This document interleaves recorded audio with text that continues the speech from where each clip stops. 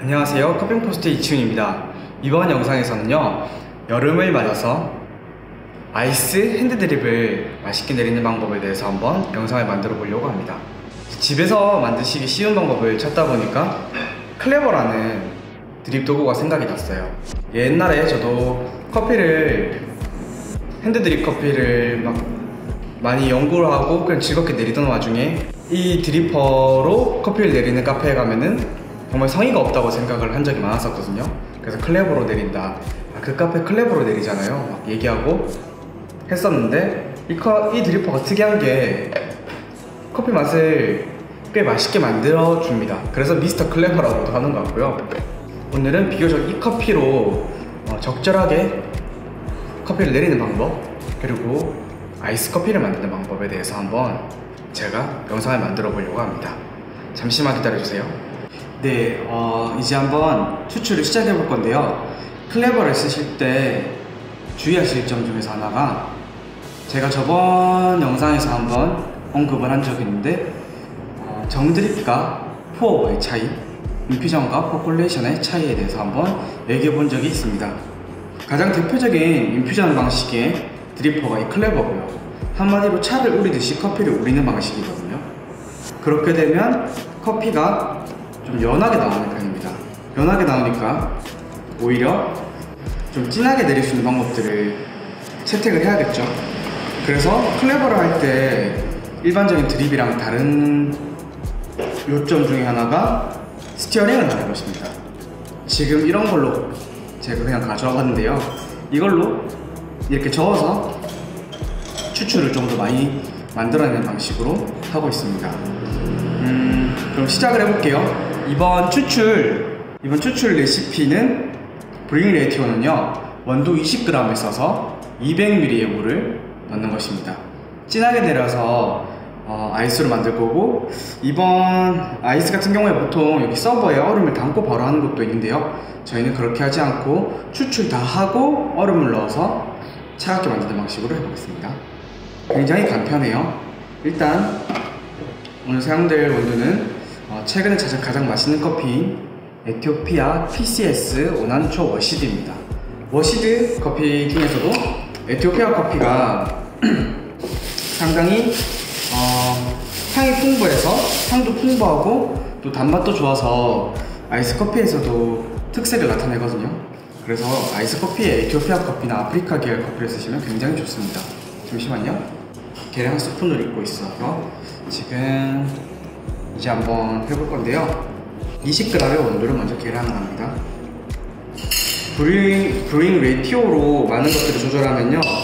어, 추출하실 때 좀 더 편해요. 20에 어, 1대 15 그러니까 20g 원두를 쓰면 원래 300ml의 물을 넣는 게 정석인데 그렇게 하면은 중배전 정도의 커피 TDS가 1.2 정도로 나오거든요. 근데 지금 같은 경우에는 좀 더 진하게 나오겠죠 진하게 나온 커피에 물을 넣으니까 우리가 마시기 적합한 농도의 커피가 되는 겁니다. 일단 얘를 분쇄를 할게요. 분쇄를 했습니다. 정말 풍부한 향이 나와요. floral 쪽도 있고 캐모마일 쪽도 있고 향신료 계열도 미세하게 있고 근데 진짜 기분 좋은 향입니다. 그리고 stone fruit부터 해서 정말 많은 향들을 가지고 있는 커피고요. 또 하나 소개해드리고 싶은 게 요 여과지예요. 원래 저희가 쓰던 게 하리오 쪽 원추형 필터만 코튼 파워 필터가 있었는데 이제 이 칼리타 형식의 코튼 파워 필터도 나왔습니다. 2, 4인용이고 어, 이거 종이 접는 방법은 두 가지 정도가 있는데요. 그냥 집에서 하실 때 간편하게 이쪽 아래 부분을 한번 접고 이쪽으로 나오죠 얘를 반대로 뒤집어서 접는 방식. 이렇게 해서 바로 쓰셔도 괜찮아요. 크게 무리는 없습니다. 근데 여기서 조금 더 디테일을 살린다면 이 종이를 어, 칼리타 드리퍼에 딱 맞추도록 하기 위한 거거든요. 끝부분을 좀 접습니다 이렇게. 보이시나요? 끝부분을 조금 접고 마찬가지로 이쪽도 끝부분을 조금 접어줍니다 접어서 얘를 안으로 만드는 거예요. 사실 어, 그러니까 이렇게 잡으면은 밑에 부분이 칼리타나 클레버 쪽 드리퍼 모양과 굉장히 흡사해지죠. 이렇게 해서도 합니다. 일단 오늘은 이렇게 만들어 볼게요. 근데 굳이 이렇게까지 하- 하실 필요도 필요는 없는 것 같아요. 이렇게 접고 클레버 네, 이렇게 안착시킵니다. 이렇게 하고 난 다음에 가장 중요한 게 무엇이냐면 항상 rinsing을 하셔야 돼요. 코튼 파워 필터가 비교적 종이 잡내가 덜함에도 불구하고 린싱을 하시면 좋습니다. 최근 최근 커핑 포스트에서는 물 온도를 항상 88도 정도로 내리고 있는데요. 클레버 같은 경우에는 음, 이제 추출이 많이 이루어지는 편이 아니다 보니 94도로 높은 온도에서 추출을 시작하겠습니다. 충분히 린싱을 하고요.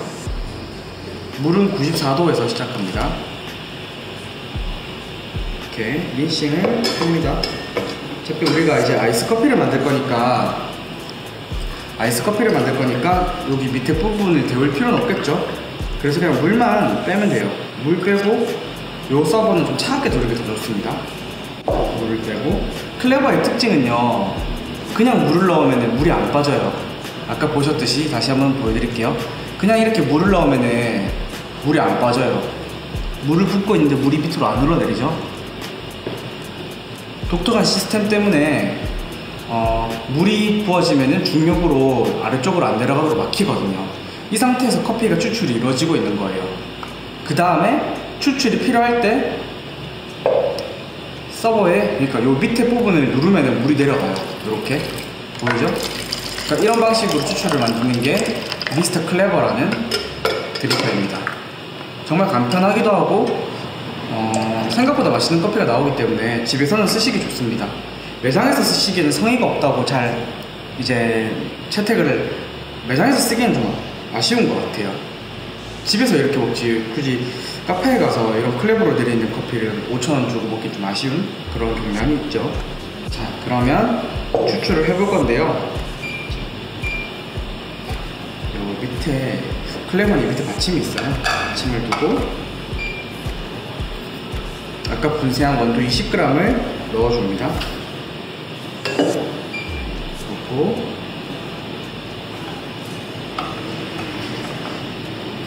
이 상태에서 물을 50g 넣어줘요. counting 시작하고 50g 넣어줍니다.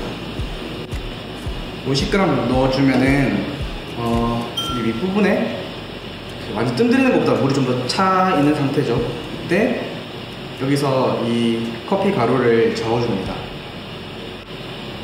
지금 커피가 추출이 일어났지만은 빠지진 않아요. 이 부분을 이렇게 저어주는 겁니다. 그러니까 stirring으로 추출을 조금 더 만들어내는 것이죠. 껄쭉해져요. 네. 이렇게 물이 빠져서 이런 상태로 한 30초, 40초까지 있다가요.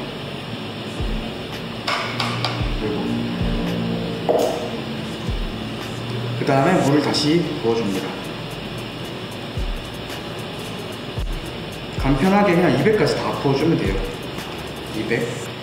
붓고 뚜껑을 닫아줍니다. 이렇게 하면은 추출이 끝나요. 정말 간편하죠? 그러니까 더 맛있는 커피를 위해서라기보다 조금 더 간편하게 어, 우리가 마시기 좋은 커피를 만들기 위한 드리퍼라고 보시면 돼요. 이 상태로 어, 2분까지 있을 겁니다.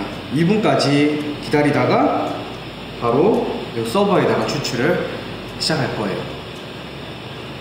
클레버라는 드리퍼 말고도 이제 어 깜짝이야. 갑자기 뭐가 떨어져서 놀랐네요. 지금 매장에 혼자 있는데 어 이제 당분간 핸드 드립 드리퍼 가이드를 좀 할 거예요. cupping에 대한 tutorial을 거의 다 마쳤기 때문에 클레버를 하고 하리오를 하고 많은 드리퍼들을 차례차례 어, 한번 다뤄볼 겁니다. 일단 첫 번째는 이 클레버로 아이스 핸드 드립을 맛있게 내리는 방법. 요즘은 아이스 커피가 많다 보니까요. 이제 2분이 됐고요. 이렇게 하고 난 다음에 얘를요 그냥 바로 여기다 끼우면 돼요. 끼워졌죠? 그러면 추출이 이루어지고 있어요. 맞죠? 물이 빠지고 있죠?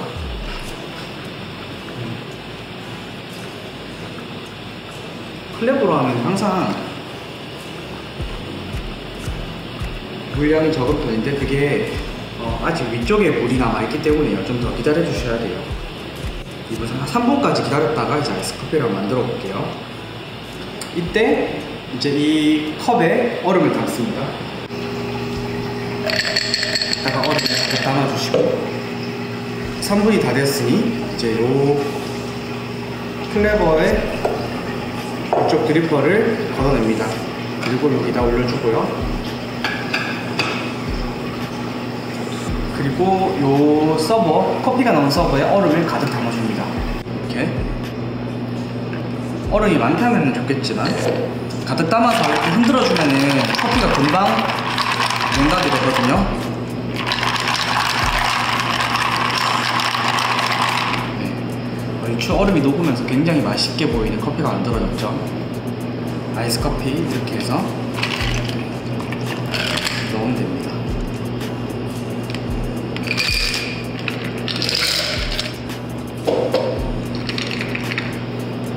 맛있는 핸드드립이 만들어졌습니다. 한번 먹어볼게요. 음. 진짜 맛있어요. 우난초 washed가 좋은 커피여서도 있겠지만 클레버로도 충분히 맛있는 커피가 나오긴 나옵니다. 전제 조건은 좋은 재료를 썼을 때 맛있어요. 오늘 클레버로 만든 아이스 핸드 드립 영상 이렇게 마치도록 하겠습니다. 감사합니다.